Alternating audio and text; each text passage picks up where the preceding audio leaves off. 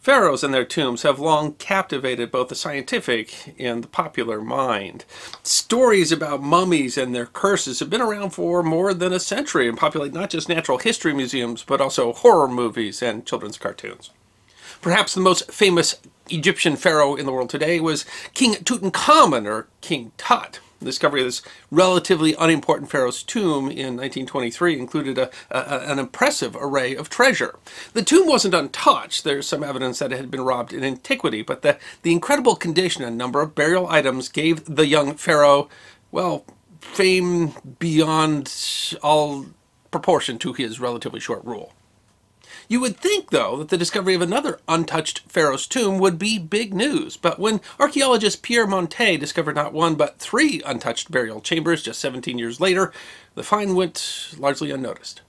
The discovery of the Silver Pharaoh and his treasures became the victim of larger world events. It's history that deserves to be remembered. Jean-Pierre Marie Montet was born in 1885 in Villefranche-sur-Saône, France. After earning his degree, he became the professor of Egyptology at the University of Strasbourg in 1919. He was an archaeologist and conducted his first major excavation at the ancient Byblos, now Jubail, in Lebanon. There he discovered tombs of local rulers contemporary with the Egyptian Middle Kingdom, and what at the time was believed to have been possibly the oldest example of alphabetical writing. In 1929, he began excavating at Tanis, Egypt, the ancient Djanet in the northeastern delta of the Nile River. Tanis became the capital of Egypt following the abandonment of the former capital, Pi Ramses. The city had already had two other major excavations in the 19th century. A decade later, Montet made his greatest discovery at Tanis. He found the royal necropolis of the 21st and 22nd dynasties. These two dynasties began at the end of the powerful New Kingdom period after a century of decline. The pharaohs had been ousted from southern Egypt by the powerful high priests of Amun at Thebes and left to rule northern Egypt from the Nile Delta. On February 22, 1939, he discovered a funerary chamber that he identified with the pharaoh Osorkon II. The burial site had been plundered, but he did find the still intact quartzite sarcophagus of Osorkon's son, Takelot II, as well as hundreds of Ushabtis. Ushabtis are small funerary servant figures put in pharaohs' tombs to accompany them into the afterlife. The ancient Egyptians believed that they would be endless work to do in the afterlife, and so the Ushabtis were made to become the workforce for the deceased. They were often inscribed with what kind of work they were meant to do, as well as their owner, and the more one had, the richer the deceased. The most simple were crude or made of mud, but those in Pharaoh's tombs would often be made of stone, lapis, or even wood. While he was examining and cataloging his finds, the rest of the world was concerned with a very different situation involving hundreds of miles to the north. On March 15, 1939, Hitler and Nazi Germany invaded Czechoslovakia. It isn't clear if Montet realized that he was now racing against the clock, but he did redouble his efforts to explore the necropolis. After clearing out the first chamber, he found a second, completely untouched chamber. Inscriptions in this chamber mention the pharaoh, Psusennes I, and at its center sat a brilliant silver sarcophagus with the head of a falcon. It is notable that the coffin was silver. The ancient Egyptians associated gold with the skin of the gods and silver with the gods' bones. But gold was much more abundant. They had no local supplies of silver and it could only be imported. Only a few silver coffins had been found. The fine craftsmanship of the casket and the grave goods indicated this wasn't the tomb of a minor leader, but someone who commanded wealth and power. On March 21st, the Egyptian king Farouk came to the site to be present at the opening of the coffin. Inside was a beautiful gold face mask and gold jewelry, but the coffin didn't belong to Psusennes. There was some damage to the trough and evidence of plant growth at its edges. This sarcophagus had been moved sometime in antiquity, probably because the former tomb had become waterlogged from being so near the Nile. The moisture from the river had long destroyed any wooden burial items. The symbols on the coffin indicated it belonged to a previously unknown pharaoh, Shoshenq II. In fact, his jewelry and funeral items rivaled that of King Tut. Two other highly decayed mummies were also found in this area and have not been positively identified. The obvious question remained, where was Psusennes? While he continued to excavate, the gears of war ground on. In September, Germany invaded Poland, prompting the United Kingdom and France to declare war on Germany. Montet found several other looted chambers, and finally, on February 15, 1940, found a corridor sealed with a single large slab of granite made from a piece of an obelisk dedicated to Ramses II. The Egyptians often recycled portions of older buildings into newer ones.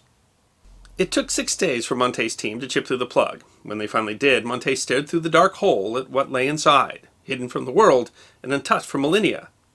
Inside the chamber sat a huge red granite sarcophagus, surrounded by silver and gold cups and bowls, canopic jars which held the removed organs, and ushabtis. He would later write that the tomb contained marvels worthy of the thousand and one nights.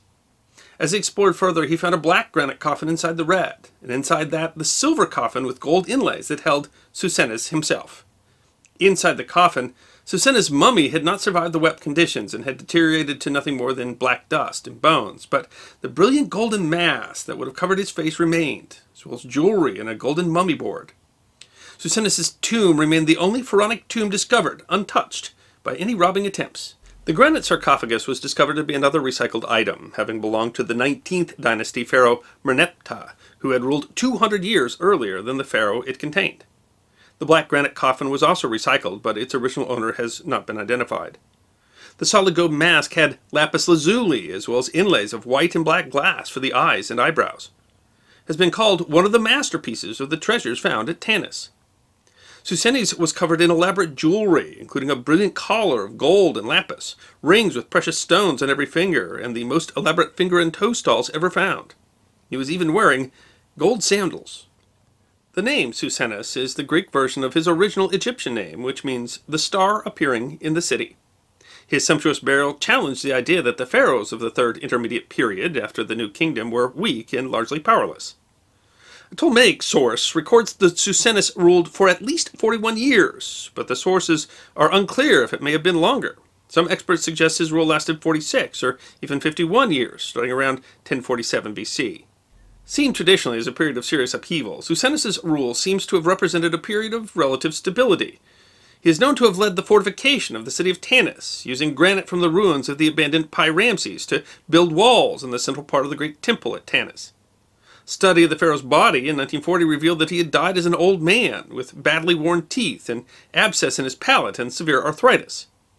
The cartouches decoded on his belongings revealed Psusennes was also a high priest. He had married one of his daughters to a high priest of Amun, who ruled the southern part of Egypt. This marriage partly explains the relatively peace of his rules that seems to have been part of an arrangement that helped him make peace with the de facto rulers of the rest of the kingdom. He did seem to be on good terms with the priests in the south, as they donated several items that were found in the pharaoh's tomb. The reuse of the sarcophagus and granite coffin also imply a peaceful relationship with the south, as the Valley of the Kings they were taken from was part of officially sanctioned looting and lies hundreds of miles outside the region the northern pharaohs controlled. The deliberate choice to include the borrowed items was possibly a ploy to tie his rule and that of his children more closely to the great rulers of the past. Though Psusennes represented probably the greatest find in the necropolis, Montet found others nearby. A chamber made for Psusennes' wife and sister, Mutnedjmet, was also found, but the sarcophagus inside held the body of Psusennes' son and successor, Amenemop. Her body and coffin have not been found. Another coffin, apparently empty, bore the name of a general. It was in April 1940 that Montet searched the tomb of Amenemop, merely a month before Nazi Germany invaded France and the Low Countries. In addition to not being in his own tomb, Amenemop's grave mask was much less detailed than his father's, probably reflecting the decline in the kingdom. Excavation at the site would soon cease for the duration of the war. Realizing he had little time to waste, the treasures he had uncovered were sent to Cairo for safekeeping, and Montet and his family rushed out of the country, hoping to beat the oncoming war. The New York Times reported on the discovery of Psusennes in February 1940, but by May the news was preoccupied with the beginning of one of the largest conflicts in human history. Montet published a book on his work at Tanis during the war. Discovery remained obscure, and the finds weren't even displayed to the public until 1944. Pierre Montet persevered through 10 years of excavation before he found these pharaohs' tombs. He wrote about his excavations at Tanis in a three-volume work, and continued to work as an Egyptologist, both at the University of Strasbourg and later in Paris. Retired in 1956 and passed away in Paris in 1966. The discovery of Psusennes' tomb is one of the most important in the history of Egyptian archaeology. It gave us a much greater understanding of a previously poorly understood period in Egyptian history and brought to light the name of a pharaoh who seems to have ruled well despite instability of the times.